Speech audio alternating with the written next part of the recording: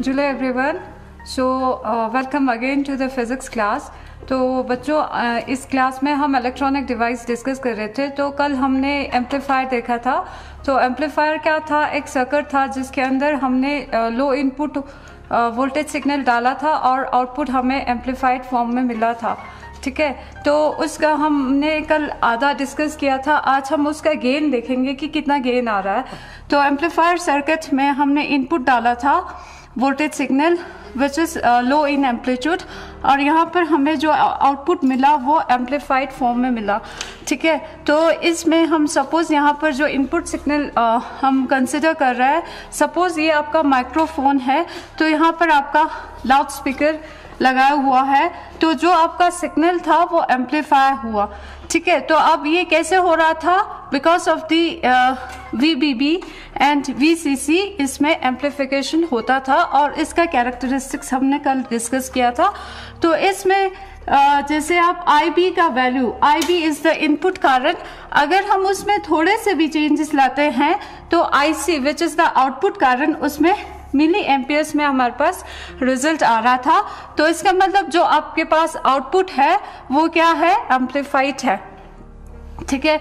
तो इसमें दूसरा पॉइंट क्या था? हमने इनपुट के पॉजिटिव हाफ़ साइकिल में जो हमारा आउटपुट था, वो नेगेटिव हाफ़ में आ रहा है। इसका मतलब जो ये एम्पलीफायर है इसमें जो आउटपुट है that is 180 out of phase with each other इसका रीजन भी कल हमने डिस्कस किया था। तो हम इसमें आज वोल्टेज गेन देखेंगे कि कितना गेन आ, आ रहा है। सो so, उसके लिए हमने इनपुट सर्किट के लिए हमारे पास इक्वेशन है ये। And for the output circuit ये V I is equal to V B E voltage drop across base and emitter और आपके पास I B into R I ये आपके पास आर आई इनपुट रेजिस्टेंस है V naught V C C minus I C R naught ठीक है? तो इसमें हम अगर चेंजेस देखें तो delta V change in delta input voltage is equal to change in V B E V B E में चेंजेस इतना नहीं आएगा so this will be equal to zero and change in current delta IB into RI because RI is the input resistance which does not change. इसी तरह से output के लिए हमारे पास होगा delta V naught is equal to V C C V C C क्या है?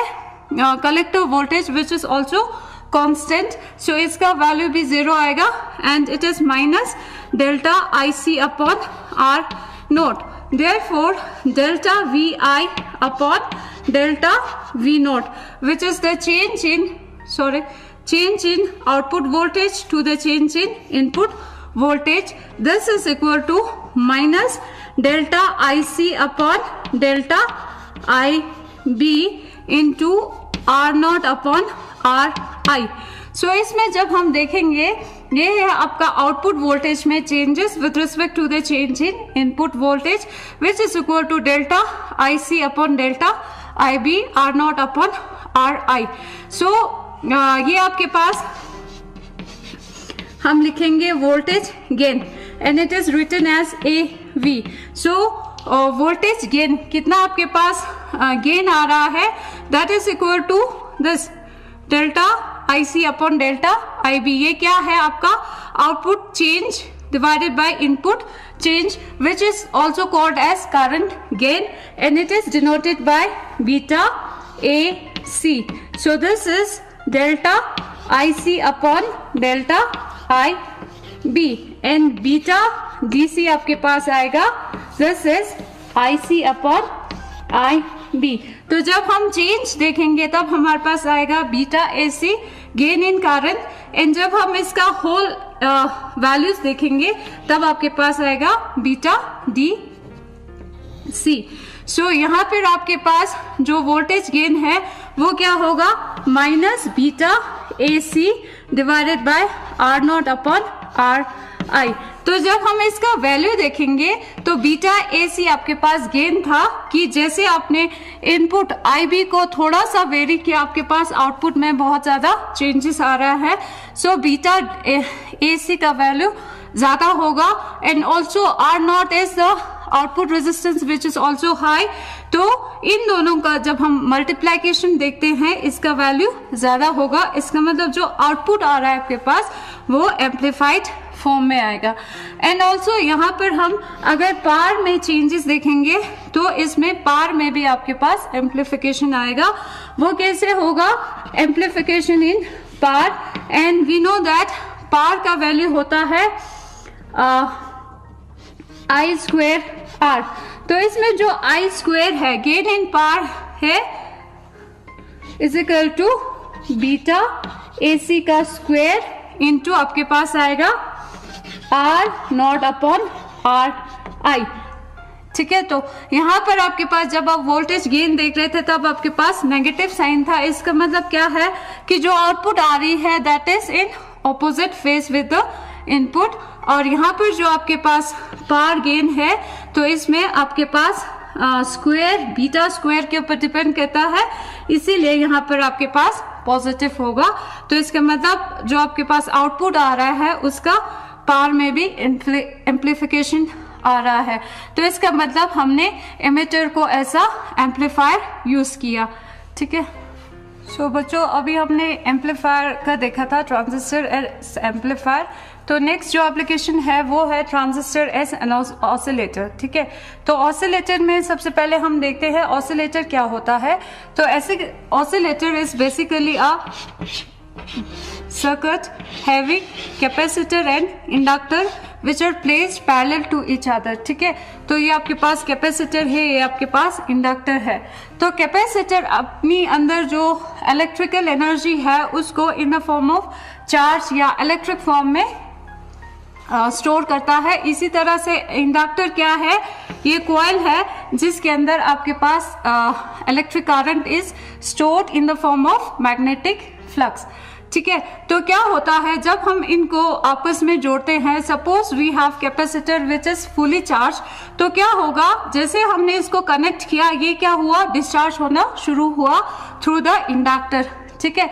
तो जैसे ये डिस्चार्ज होगा जो इंडक्टर के अंदर इंड्यूस्ड ईएमएफ आता है जो आपने प्रीवियस क्लास में किया हुआ है तो इंड्यूस्ड ईएमएफ क्या करेगा?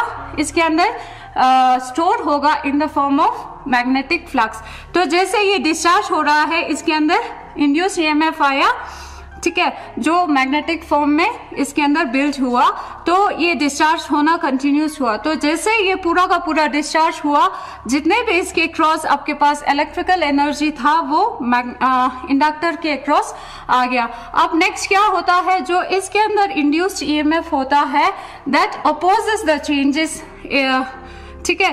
तो ये पूरा डिस्चार्ज हो गया, अब कोई चेंजेस नहीं है तो ये इसको क्या करता है? ओपोज करता है। इसका मतलब इसके अंदर जो मैग्नेटिक एनर्जी है, वो कैपेसिटर को चार्ज करना शुरू करेगा। तो इस तरह से आपके पास टू एंड फ्रो मोशन होता रहता है। इसीलिए हम इसको कहते हैं एलसी ऑसिलेशन ठीक है? तो इसमें ऑसिलेशन तो इसमें जो एलसी ऑसिलेशन होगा तो टू एंड फ्रो मोशन होगा। इसके अंदर जो ऑसिलेशन होगा, वो डेम्प्ड ऑसिलेशन होगा। डेम्प्ड का मतलब क्या है कि इसका एम्पलीट्यूड विथ टाइम डिक्रीज होगा। ठीक है? तो इसको अनडेम्प्ड करने के लिए हम क्या करते हैं? वी यूज़ ट्रांजिस्टर ठीक है? तो ट्रांजिस्टर के अंदर हम देखते हैं कि कैसा होता है इसका। तो this is the circuit diagram for transistor and oscillator ठीक है यहाँ पर आपने एनपीएन ट्रांजिस्टर यूज़ किया हुआ है। यहाँ पर आपने कैपेसिटर uh, यूज़ किया है। एरो का मतलब है इट वैल्यूज़ इज़ वेरिएबल यहाँ पर आपने दो कॉइल यूज़ किया है। Which are inductively coupled with each other ठीक है, यहाँ पर आपने कलेक्टर वोल्टेज लगाया है, यहाँ पर आपने की लगाया है। तो अगर ब्लॉक डायग्राम में देखें तो ये आपके पास है। ये ट्रांजिस्टर क्या करता है? जो आपके पास सर्किट था एलसी सर्किट उसको बार बार फीडबैक दे रहा है। एज अ रिज़ल्ट आपके पास जो ऑसोलेशन आ रहा था, वो अनडेम्ड हो। ठीक है? तो इसीलिए हम इसको यूज़ करते हैं। तो इसका वर्किंग क्या है कि सपोज़ पहले हमने इनिशियली की इज़ ओपन जैसे हमने की को आ, लगाया ठीक है? तो क्या होगा? इसके थ्रू वीसीसी लगाया है तो इसके थ्रू आपके पास करंट फ्लो होंगे। तो जैसे कलेक्टर करंट इंक्रीज करेगा यहाँ पर आपके पास कोयल है which is inductively coupled with L तो जैसे आपके पास आईसी करंट आएगी, ये आपके पास इनपुट में बेस और इमीटर है। ये क्या होगा? फॉरवर्ड बाइस्ड होगा। तो जैसे फॉरवर्ड बाइस्ड होगी, आपके पास कलेक्टर करंट और इंक्रीज करेगा। ठीक है? तो कलेक्टर करंट और इंक्रीज करेगा मींस जो आपका फॉरवर्ड बाइसिंग है इमेटर का, वो इंक्रीज होगा। ठीक है? तो जैसे जैसे इंक्रीज हो रहा है तो आपके पास जो आउटपुट है, वो भी ऑसिलेशंस आ रहे हैं आपके पास। तो ये कब तक रहेगा? जब तक इसका एल डैश और एल का सेचुरेशन पॉइंट ना आए।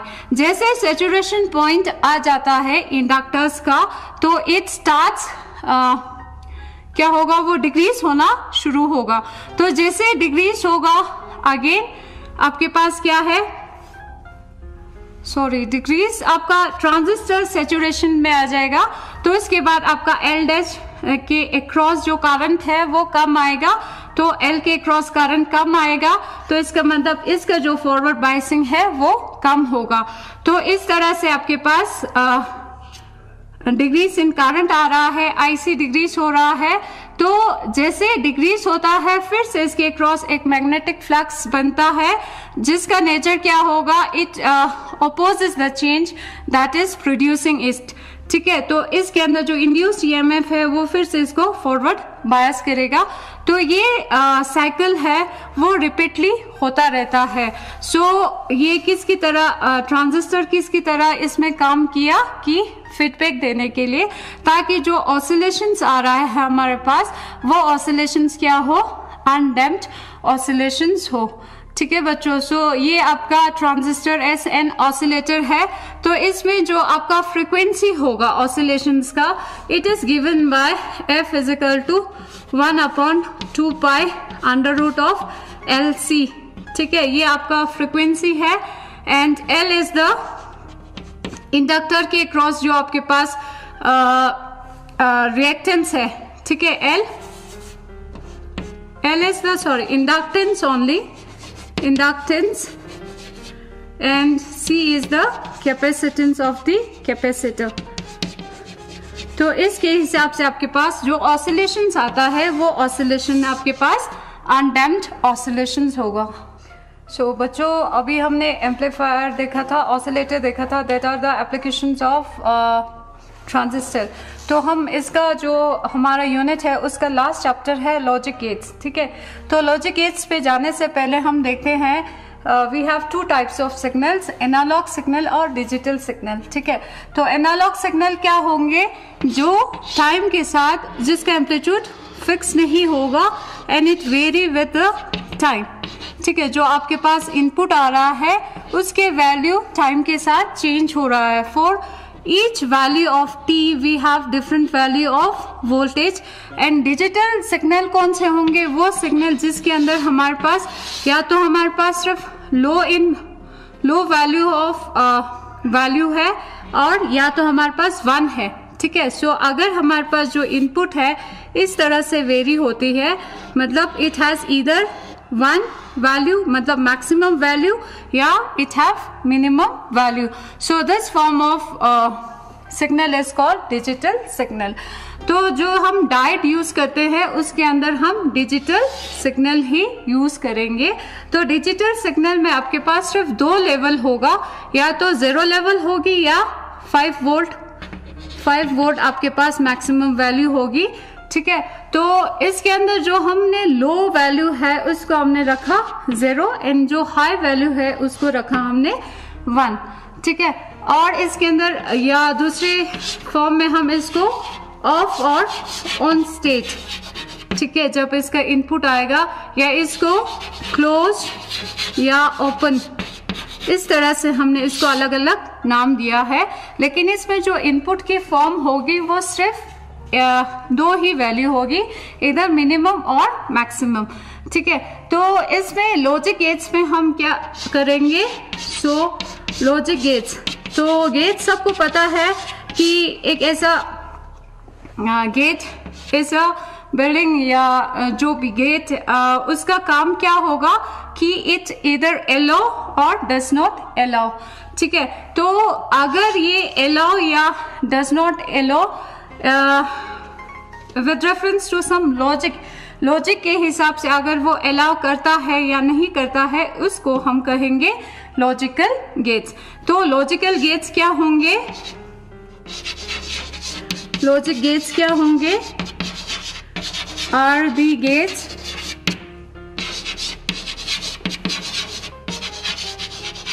which allow the signal according to some logic to some logic so this logic gates are the building blocks for all the electronic circuits we uh, are using nowadays जो computers है उसमें हर एक में आप logic gates use करते हैं and basically we have three types of logic gates ठीक है, और गेट एंड गेट और नॉट गेट तो इन सबको हमने क्या किया है? और गेट सबसे पहले आपके पास आता है। इसमें जो आउटपुट होगा y वो किसके ऊपर डिपेंड करेगा? A और b के ऊपर डिपेंड करेगा। सो so, और गेट क्या है? एक ऐसा गेट जिसके अंदर दो या दो से ज़्यादा इनपुट हो सकता है और जो आपके पास आउटपुट है वो सिर्फ़ एक ही होगी। ठीक है? So this is the or gate और इसमें जब हम गेट करते हैं हमारे पास दो कॉन्फ़िगरेशन होता है। One is the Boolean expression या बुलियन एल्जेब्रा ठीक है?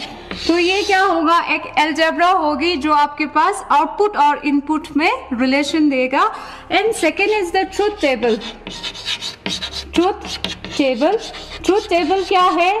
जो आपके पास इनपुट और आउटपुट में रिलेशन आ रहा है, वो टेबल के फॉर्म में रिप्रेजेंट करते हैं। इसको आप ट्रूथ टेबल कहते हैं।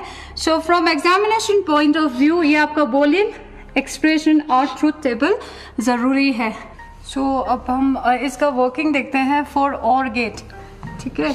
तो और गेट में आपके पास क्या था? आपके पास दो इनपुट थे और एक आउटपुट था। तो इसका जो सिंबल होता है लॉजिक सिंबल ये इस तरह से होता है। ये कनकेव अंदर की तरफ़ होगी और ये इसका लॉजिक सिंबल है। ठीक है? तो और गेट में हमारे पास जो आउटपुट होगी बुलियन एल्जेब्रा के हिसाब से Boolean algebra for or gate आपके पास जो आउटपुट होगा वाई होगा दैट इज़ ए और बी मतलब जो आउटपुट होगा, वो या तो ए आएगा या बी आएगा। ओ इसका मतलब क्या है? जो आउटपुट है इधर ए और बी एंड ट्रूथ टेबल अगर हम इसके लिए देखते हैं तो ट्रूथ टेबल आपके पास आएगा। A B and y in the form of table ठीक है? तो इसमें आपके पास जो इनपुट है, वो सिर्फ़ दो फॉर्म में है, या तो ज़ीरो लेवल है या वन लेवल है।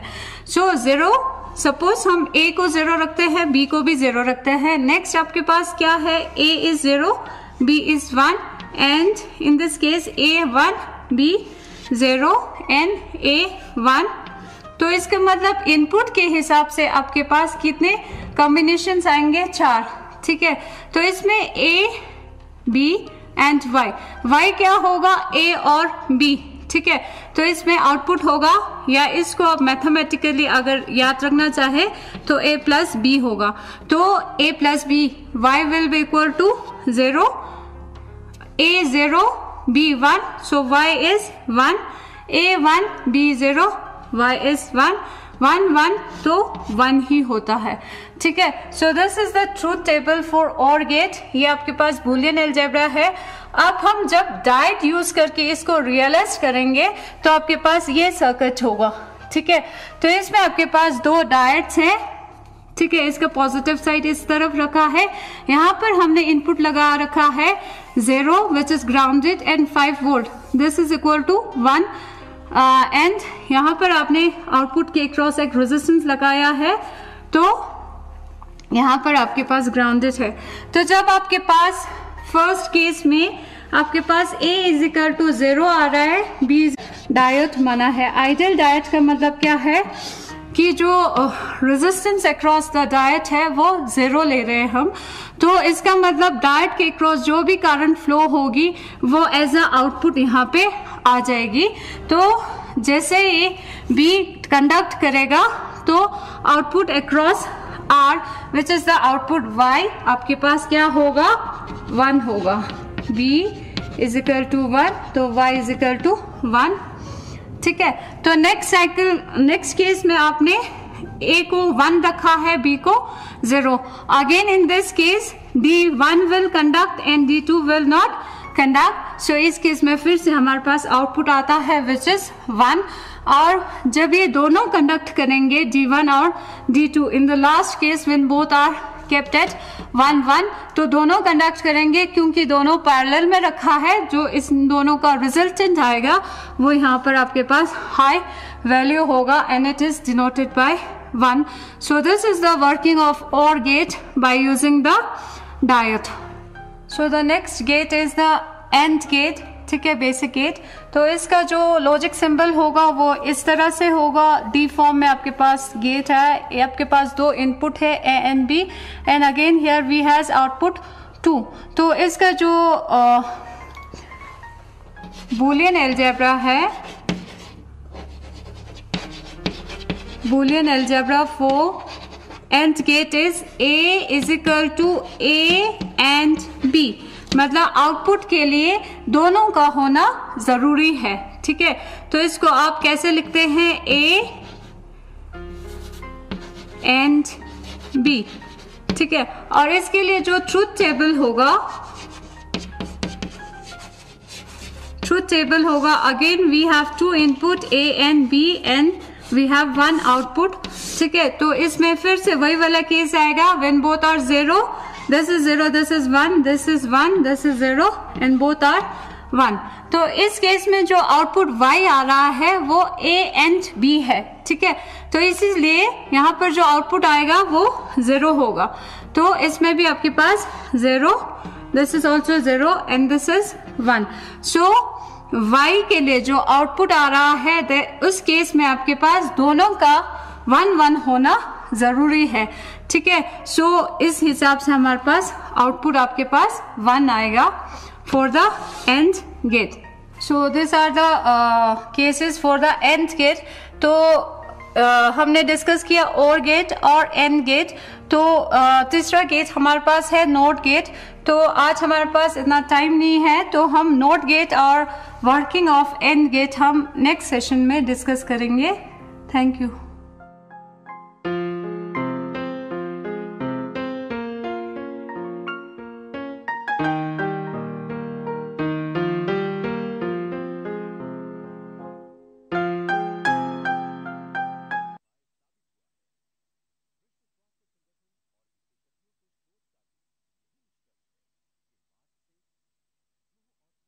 बिस्मिल्लाह रहमान रहीम जुले डियर स्टूडेंट्स